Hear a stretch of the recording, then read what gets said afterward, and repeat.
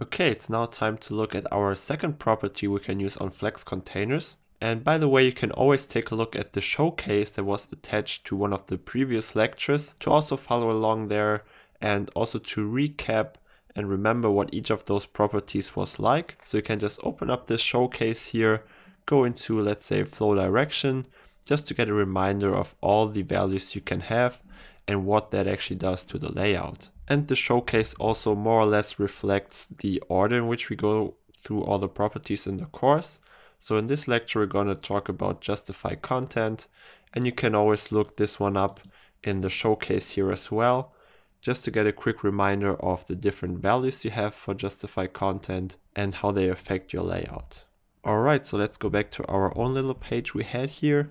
So we still have our column reverse flow direction and now for this lecture, I'm gonna, let's say, use row reverse here because the property justify content is actually gonna work on the main axis. So in this case now, again, on the horizontal axis.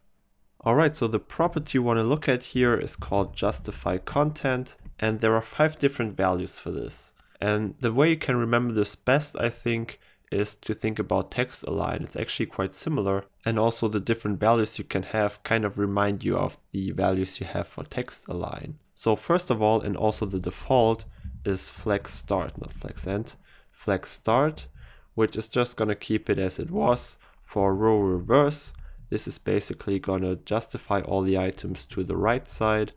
And if I just had row here, then it would be on the left like normal, like the default.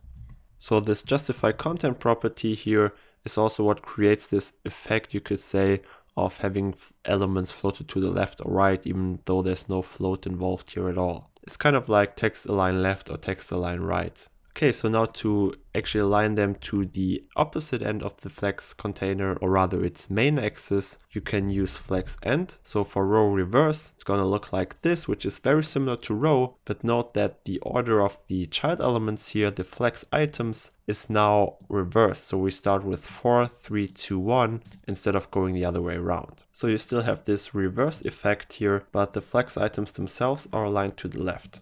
Alright, now another important one is center, just like text align center, and it does exactly what you would think. But now you might be wondering how you can actually space the items more evenly. So right now all the four flex items are always very close to each other, but there's actually much more space to use. And this actually is also kind of like text align justify if you think about it, where it spans the whole width of the text width in that case. Now for justify content, there are actually two different ways to space more evenly between the flex items. And the first one is called space around, which is going to create while spacing around all the items. So now each of those, like let's say this one here, has the same spacing to the left as to the right. And then there comes the next item here with the spacing to the left and to the right and so on. But in some cases you may prefer not to have any spacing at the ends here but rather have them align right at the edges of their container.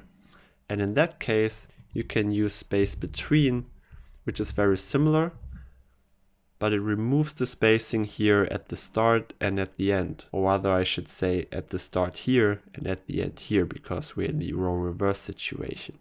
So justify content space between might actually be one of the most important ones because I think it's a very convenient one to have even spacing between the elements and still have all your child elements actually aligned in the overall layout of the site because there are no spacings on the left and right. Alright, so those are all the different values you can have for justify content. And now, as I promised, there's a little game online, a really cool site here called Flexbox Froggy at flexboxfroggy.com where you can just learn all those different properties and well just recap them try to apply them to some situations to actually get all the frogs here to their lily pads which are well somewhere in this container in this pond it should be. And it's your task to use the flexbox properties to get those frogs onto their lily pads. And with only the two properties you've learned so far you can already do levels 1 to 4 and I very much recommend you do that just to recap everything and not get overwhelmed when we start actually talking about more of the properties that Flexbox provides. Of course, practice is very important, but also your code editor should be a good help with the different properties that are available. So like flex direction, justify content and so on, but also with the different values that are actually valid for each of those properties, like row, row reverse, column, column reverse, flex start, flex end, center, space around, space between, and so on.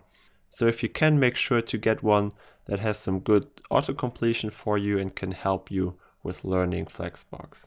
But don't worry, if you do all the quizzes and maybe use Flexbox Froggy from time to time, take a look back at the showcase to just get a quick reminder you're going to have no problem at all using Flexbox in practice and knowing which properties to use. But if there still is any kind of material where you would say that would be really useful, then just let me know in the Q&A and I'm going to see if I can create that for you. Alright, so that's all about justify content. Again, for me, it's easy to think about this kind of like text align, but you may prefer to think about it another way. Alright, thanks for watching and I'll see you again in the next lecture.